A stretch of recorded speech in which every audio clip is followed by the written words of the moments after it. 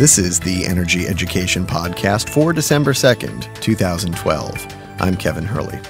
This podcast is a project of Fairewinds Energy Education. Fairewinds is a nonprofit organization dedicated to educating policymakers, the public, and the next generation. Today marks the 70th anniversary of the first self sustained, man made nuclear reaction. This first atomic pile was built in Chicago in the basement of a football stadium. The nuclear milestone gave birth to decades of secrecy and what would come to be known as the nuclear priesthood. On this 70th birthday, we'll also discuss nuclear subsidies, thermal discharge into rivers, and the ability of decay heat to cause a meltdown. Finally, today, we'll look at what to do with all of that nuclear waste. Joining us in the studio today is Fairewind's chief nuclear engineer, Arnie Gundersen. All coming up next.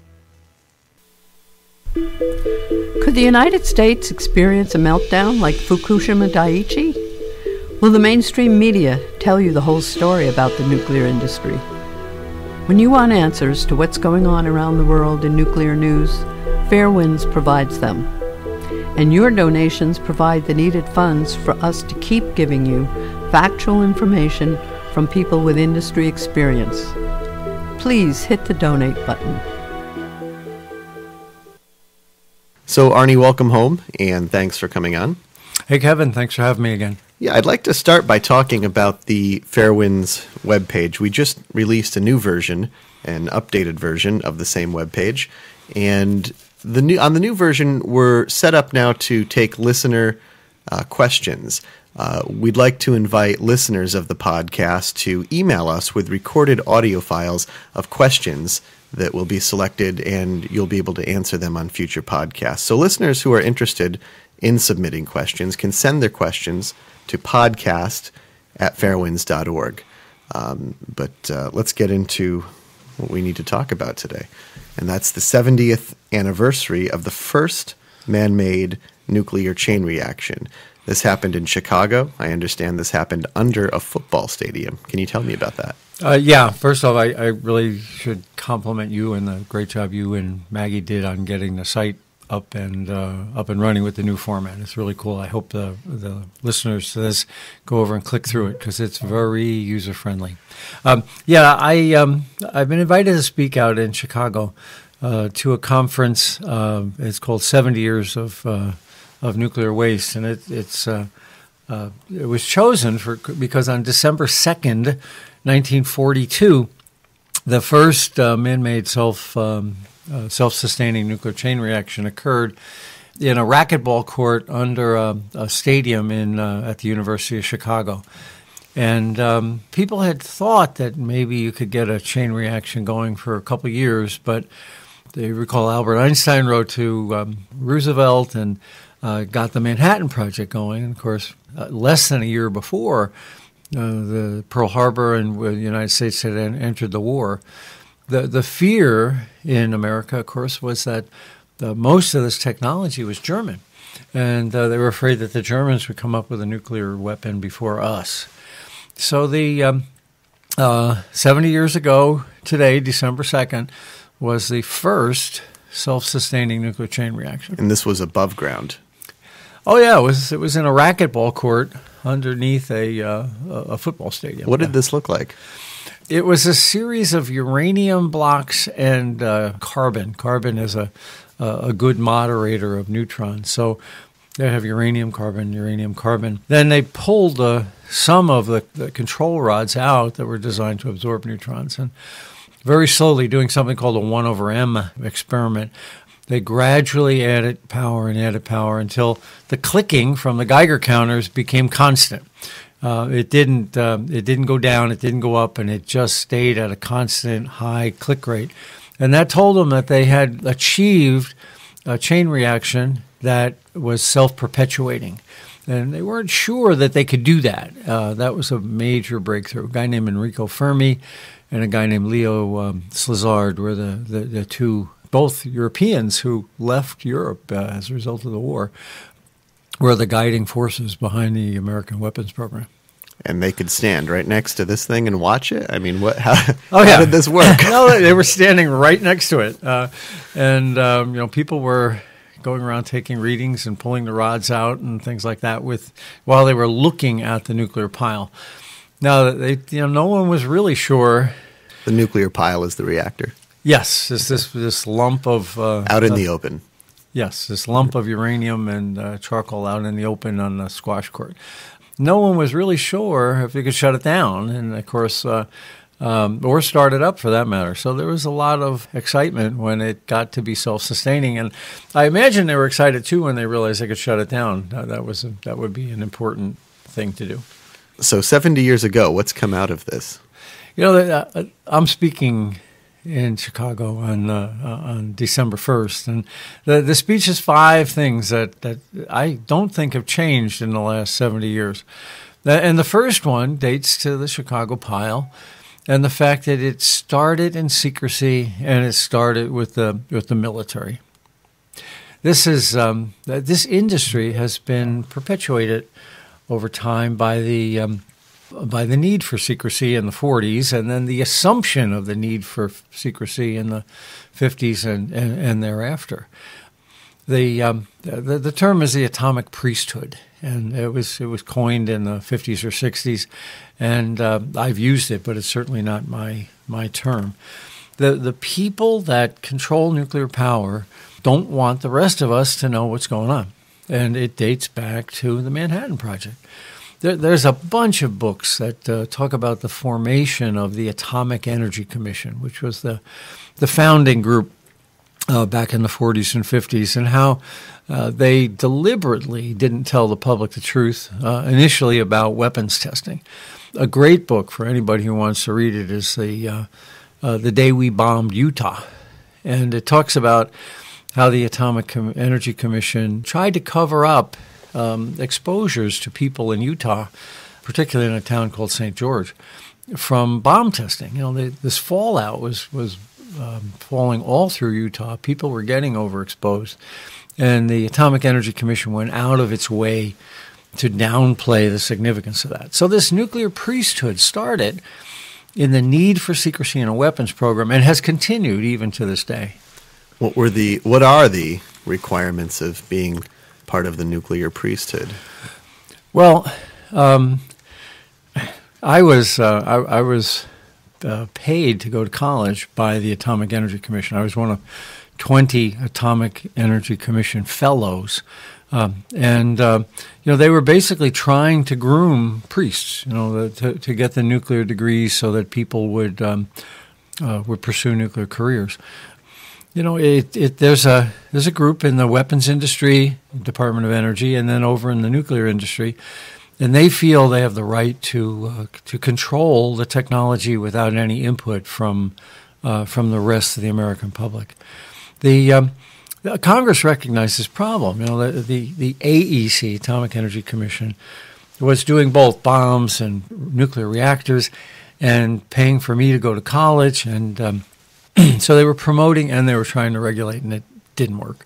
Mm. So in 76, Congress split them up and created the Nuclear Regulatory Commission and the Department of Energy. And the theory was that the Nuclear Energy Commission would really regulate. Uh, the only thing Congress didn't do was change the people. So the mindset, the, the priesthood mindset that you know you and I are are, are um, not deserving of the of the information was born the very first day the uh, the Nuclear Regulatory Commission was created. Uh, you know, I even see it today. We're, we're trying to work on um, the San Onofre project out in California, and what happens is the Nuclear Regulatory Commission goes to uh, Southern California Edison, and they pass documents across the table. And when they, after they've read them, they pass those documents back to Southern California Edison. They never quote. These are lawyers. No, these are engineers sitting across okay. the table from each other. Yeah, mm-hmm. the lawyers have agreed on this process. So they sit in a room and they pass information to the NRC. The NRC reads it and passes it back across the table. And because the NRC never takes possession of the material, it never makes it into the public document room. So they're so, not required, as long as they don't photocopy these documents, they're not required to make it publicly available. Freedom of Information Act, nothing. None of that applies. None of it applies. And and so the the priesthood retains its control because outside uh, contractors and outside experts, and believe it or not, there are some outside experts that would like this information available, are uh, are precluded by the Nuclear Regulatory Commission from uh, from getting our hands on accurate data that might dispute what the Nuclear Regulatory Commission determines. The Chicago pile was 70 years ago today. Why still the need for so much secrecy? I think at this point it's uh, it's ingrained in the culture, and um, that that really gets to the second point uh, that I'm going to be speaking about, and that's the uh, uh the enormous subsidies. Uh, we would not have nuclear power, at least in the form we have it now, were it uh, were it not for the subsidies from the bomb program. I mean, we invested. The Manhattan Project was two billion dollars seventy years ago, and it was a lot of money today, and it was a lot more seventy years ago. So all of that infrastructure that we had made for bombs, we then rolled over and said, well, let's make some commercial nuclear reactors. The, if you look at all of these subsidies for 70 years worth of subsidies, they, um, uh, they would add about, they would essentially double the cost of nuclear power. The, the power cost at, at the, as it leaves the power plant, the cost of power from a nuclear plant is around five cents. And Union of Concerned Scientists has said it would be 10 cents had it not been for all these subsidies for 70 years. You know, when you when you got a kid and then they're in college and you uh, and you subsidize them and they're 20, that's okay. And when they have tough times in 30 and mom and dad need to subsidize them a little more, uh, you don't want to, but that's okay. But nuclear power is 70 years old and we're still subsidizing it. You know, at some point you got to kick it out and say either make it on your own or don't make it. And we haven't done that with nuclear power. So the idea is then, without these subsidies, nuclear power, if left just to the markets, would have failed. Yeah, that's exactly right. Uh, uh, Peter Bradford from uh, he's from Vermont, but he was a former NRC commissioner, has said that uh, trying to solve global warming uh, by relying on nuclear power plants is like trying to solve glo- global hunger by feeding everyone caviar.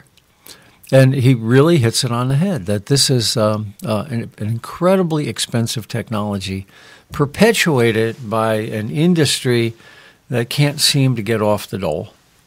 So, Arnie, who subsidized nuclear power in the beginning and who's subsidizing nuclear power today? You know, initially it was um, the Department of, of, of, War, we called it at the time, the Department of Defense.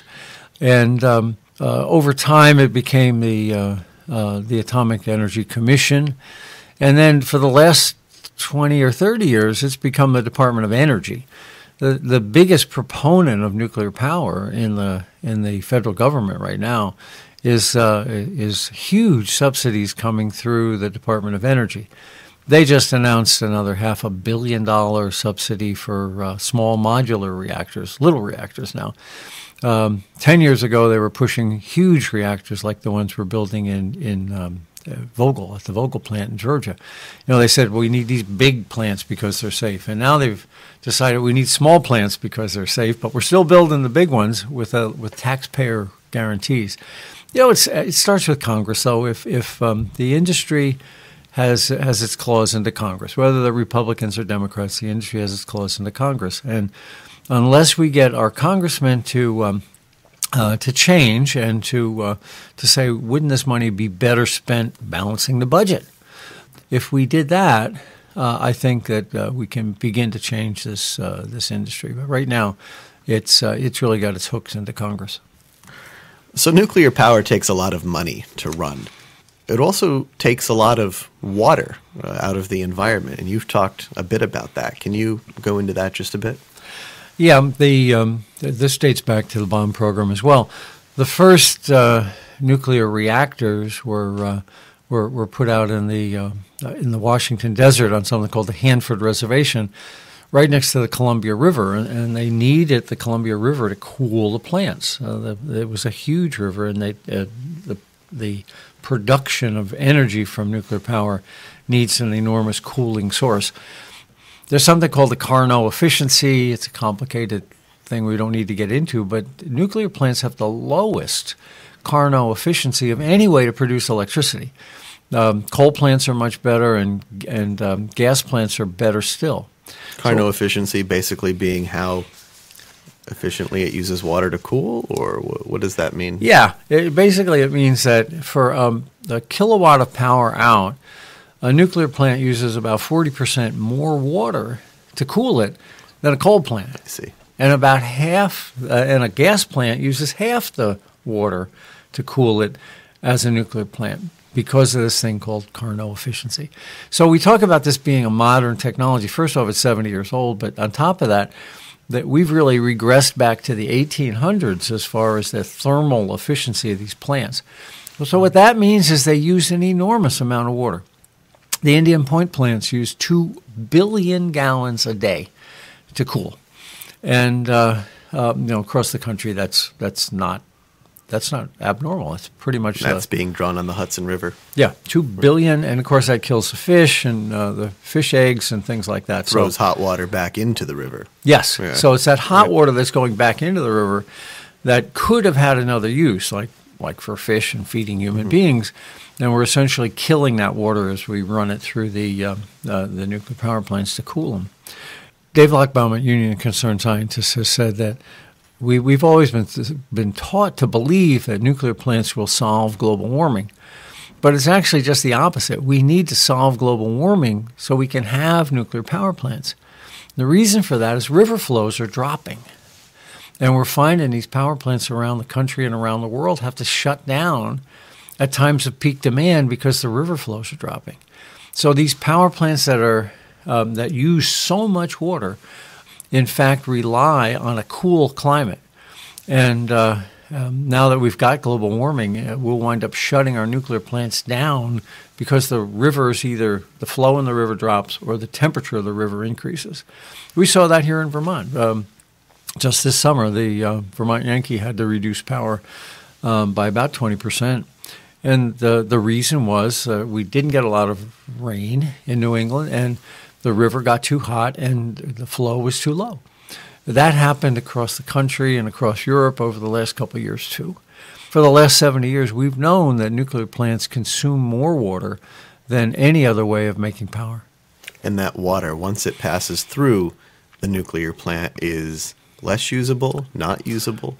What is the difference other than temperature? Not to say that temperature isn't important, but between the water going into the plant and the water coming out of the plant.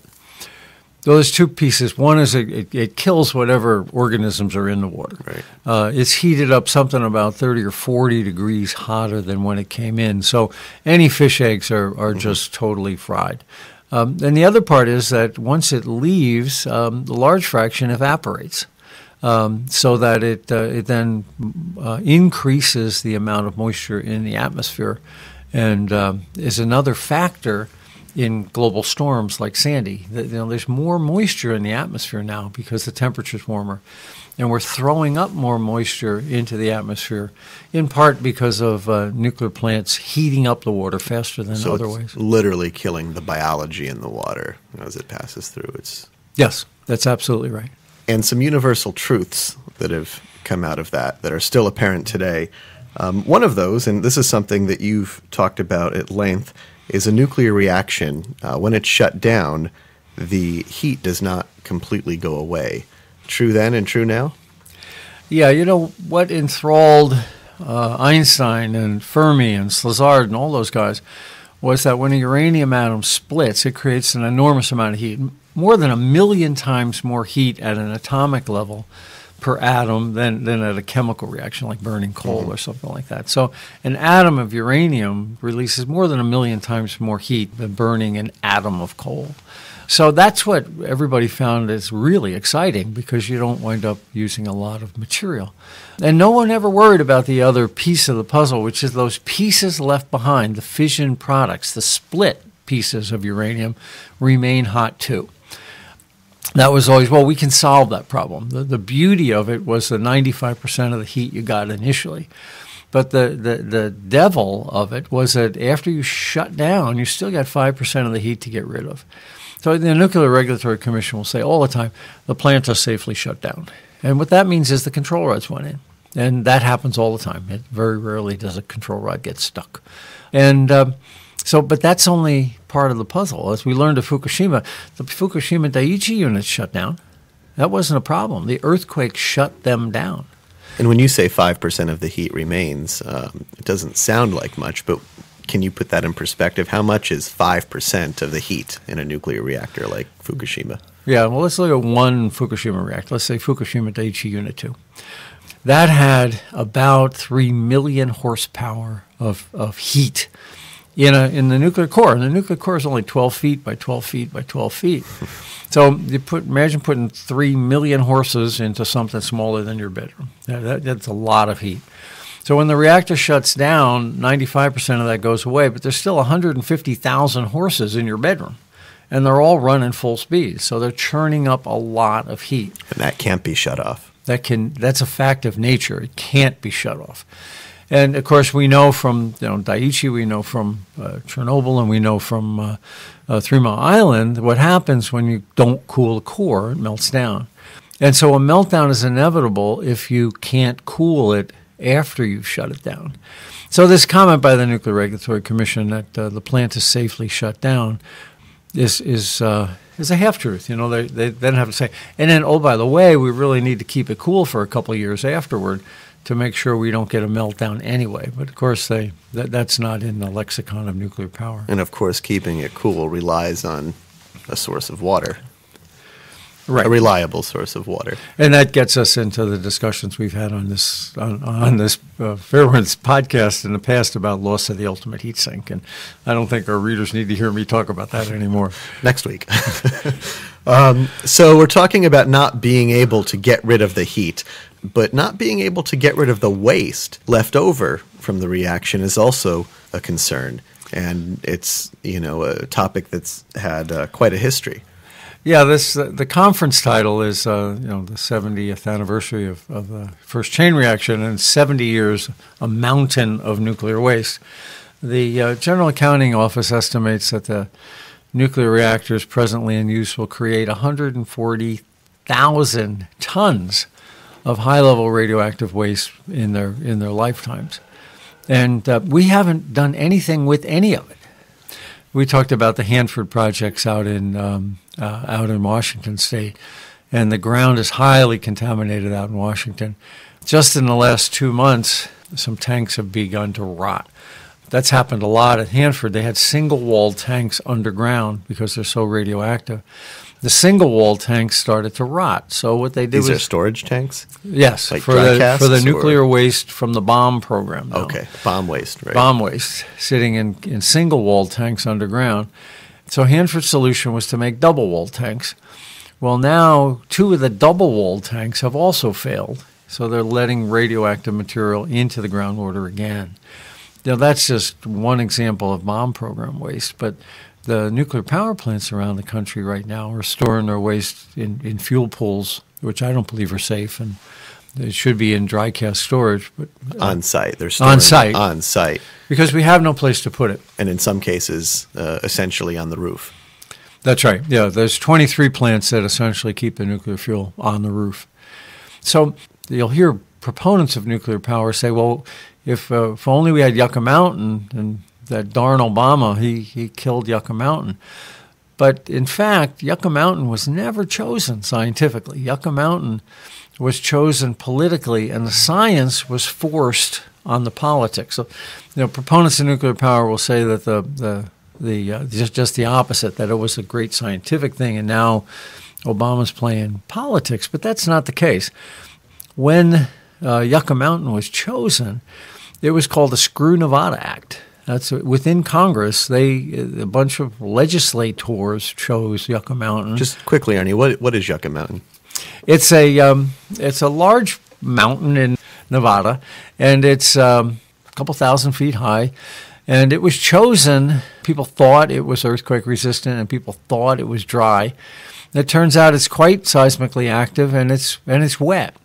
So those are the two things you really don't want in a nuclear waste repository. So the idea was for all of the U.S. nuclear waste, nuclear power plant waste, to go to this mountain and be buried inside. Well, Congress's idea was that half the waste would go west and half of it would go east. So there was supposed to be a place to store nuclear power somewhere in the east. Well, we have a lot more electoral votes here in the east than they do in Nevada, so that's where the term the Screw Nevada Act became. So the eastern states said, well, we don't want it, and uh, let's send it to Nevada. Back in the 80s and 90s, uh, the Nevada uh, congressional delegation was quite weak.